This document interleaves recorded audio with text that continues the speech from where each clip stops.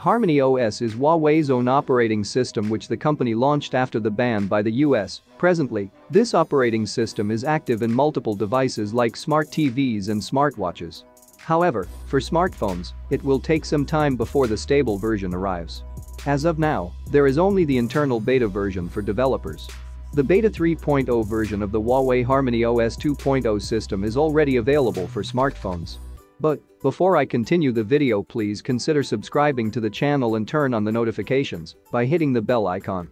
As you can see here 27.9% of who watch the video subscribe to the channel and 72.1% aren't subscribed. Let's reach 100 subscribers today. Now, let's get back to the video. Today, a well-known Weibo tipster Chang'an Digital King shared a screenshot of the Honor 9X device. And the users may be shocked after knowing that this device caught running on Harmony OS mobile developer beta 3.0, which is really surprising. According to the screenshot shared by the tipster, the device has the Harmony OS developer beta build with version 2.0.0.46, which is the latest developer beta update.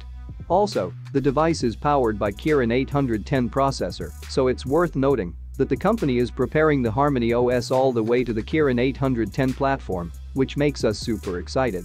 According to previous reports, Huawei models with Kirin 710 and above will have Harmony OS. This is regardless of whether it is a Honor smartphone or directly from Huawei. So long as the device comes with Kirin 710 and above, it will have the Harmony OS. However, only Kirin models will be eligible for the upgrade for now. Huawei smartphones with MediaTek chips will have to wait a bit longer According to the previous news, the first batch of upgrades for Huawei's Harmony OS 2.0 mobile phone system will include Huawei Mate X2, Mate 40 series, and P40 series. On April 7, 2021, Dr. Wang Chenglu, Huawei Consumer BG Software Engineering Department President, announced through an event that Harmony OS is a next-generation OS and enables various intelligent devices to connect and collab into one single language. At the event, Wang announced that this new software will run on 300 million devices in 2021.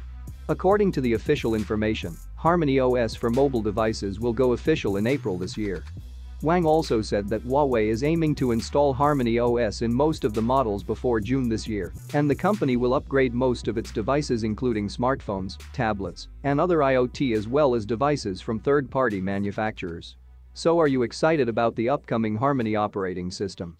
Let me know your thoughts in the comments down below. And as always, I will see you in the next video.